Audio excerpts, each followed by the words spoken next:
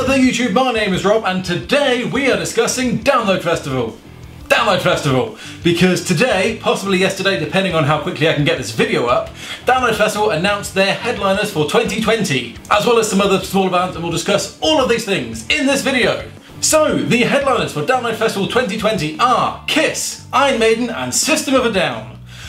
And we're going to talk about them because, I mean, let's face it, that's not the best lineup in the world. Let's start with Kiss, shall we? Because Kiss played Download Festival a few years ago. I mean, Kiss are pretty good. I like Kiss. They have a couple of good songs. Um, they did Detroit Rock City. They did the one about partying every day, unless that's the same song. I don't know. I'm not a massive fan of Kiss. They were there a few years ago. They're an older band. I don't think they really have the pull that they can play every few years. So Kiss, I'm probably least excited about this this one.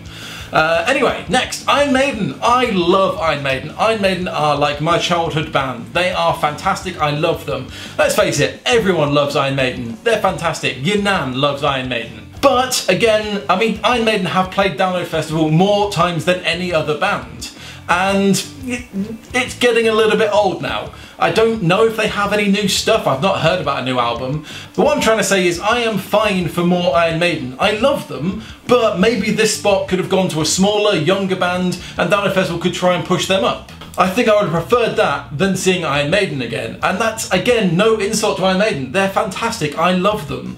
But they've played a lot of times. Maybe it could have been a smaller band's chance.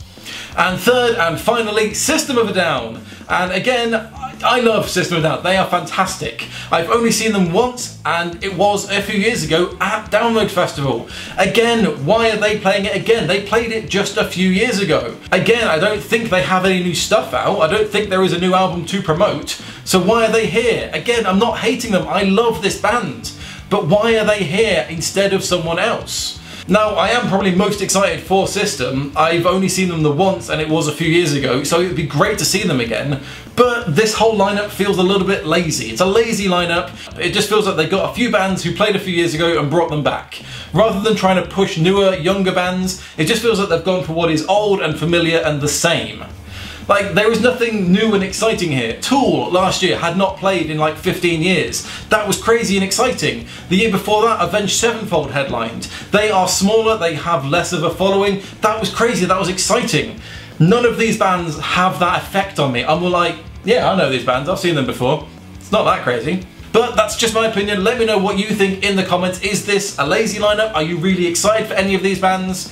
Um, what do you think about this lineup in general this year? What do you think it's going to be like? Let me know in the comments. But now we are on to the smaller bands, which honestly I am more excited for. So let's start with the smaller bands they announced that I am super hyped for. The Offspring, Korn, Alestorm, three of my favourite bands ever. Uh, let's start with The Offspring. I missed them when they played Download last time because I went to Sonisphere, which I don't regret, that Sonisphere was amazing, but I really regretted missing The Offspring. I was actually starting to worry that I would never see The Offspring because they're getting a bit too old maybe they'd pack it in. So really excited for that. The Offspring are fantastic. I love them. I am excited to see, I am excited to be there. Next up we have Korn, and I am really excited for Korn because Korn have a new album out. This album, that is, oh wait, this album Sorry. This is a fantastic album. This is great. I might even do a review of this album. It's like Slipknot, but it's Korn. It's so good. Really excited for this. Really excited for this. And Alestorm, it's pirate metal. I love it. Um, I don't think they played last year. I think it's been a few years since they played, but they're great. They're fantastic. I love them. Excited for this. Uh, aside from that, there is a bunch of smaller bands that I'm not that into, but I know have big followings. Uh, so there's Disturbed, Deftones, uh, Black Veil Brides. I mean, there's a lot of smaller bands that I know have big followings, I'm just not a big fan of. Honestly, I think that the fans are going to have more of a reaction to these bands than these bands. Now let me know in the comments what you think, which ones are you more excited for, but honestly, these three we've seen before. These ones, smaller, haven't played as often, I think they're going to get a really good reception.